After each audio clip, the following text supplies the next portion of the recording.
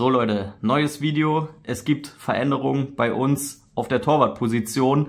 Einer geht, ein neuer kommt und äh, mit neuem Hintergrund begrüße ich euch ganz herzlich zum neuen Video. Ja, wahrscheinlich äh, habt ihr es alle mitbekommen. Unser zweiter Keeper Nils Körber wechselt zu Fürth für 150.000 Euro. Die Ablöse wollte Hansa äh, nicht preisgeben, aber mehrere Medien haben es schon berichtet und da muss ich sagen, haben wir einen richtig guten Deal gemacht, denn sein Vertrag wäre sowieso im Sommer ausgelaufen. Wir wünschen Nils natürlich nur das Beste bei den Viertern. Die sind aktuell auf dem zweiten Tabellenplatz. Wer weiß, ob er in der nächsten Saison erstklassig spielt.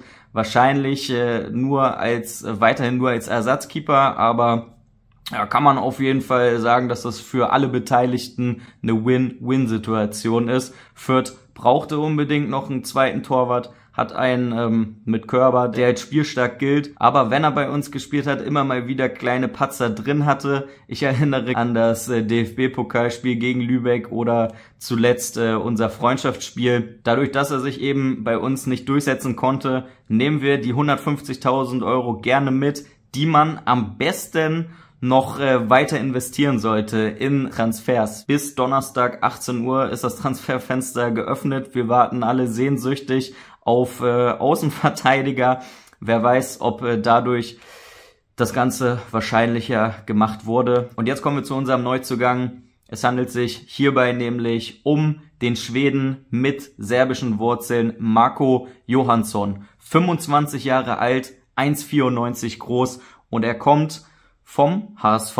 Per Laie bis zum Sommer ist, denke ich, eine gute Alternative, ein guter Ersatz, war U21 Nationalspieler Schwedens. Ich zeige euch einmal ganz kurz seine Station, die er durchlaufen hat. Startete in der Malmö-Jugend und galt dort als einer der besten äh, Keeper-Torhüter-Talente Schwedens. Ja, dann war er mal beim VfL Bochum. Der HSV hat ihn 2021 für 600.000 Euro geholt aber dort konnte er sich nie wirklich durchsetzen und Johansson wollte sich mit seiner Reservistenrolle nicht zufrieden geben, ist dann immer wieder verliehen worden zu Heimstadt. Dort spielte er zuletzt insgesamt elfmal und hat 17 Gegentore fressen müssen. Dazu muss man aber sagen, dass Heimstadt ein Abstiegskandidat war. Ja, beim HSV konnte er sieben Zweitligaspiele sammeln und ich habe mich mal ein bisschen schlau gemacht. Man hört von vielen Hamburgern, dass der Junge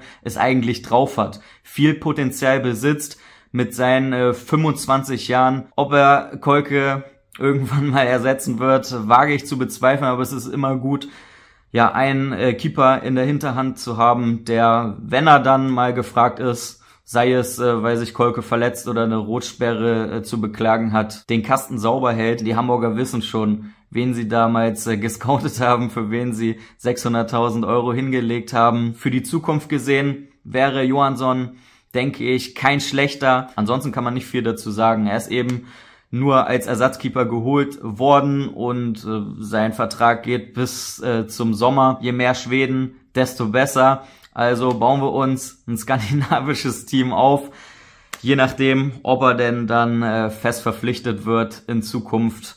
Ja, der, sein Marktwert ist hoch und der HSV wird ihn nicht für ein Appel und ein Ei abgeben. Aber ich bin gespannt auf eure Kommentare. Wie seht ihr ähm, die Keeper? Und äh, dann bedanke ich mich fürs Zuschauen. Hoffe, dass morgen oder übermorgen noch ein weiterer Transfer getätigt wird. Vielen, vielen Dank fürs Zuschauen, für jeden Daumen nach oben. Bleibt stabil. Haut rein. Bis zum nächsten Mal.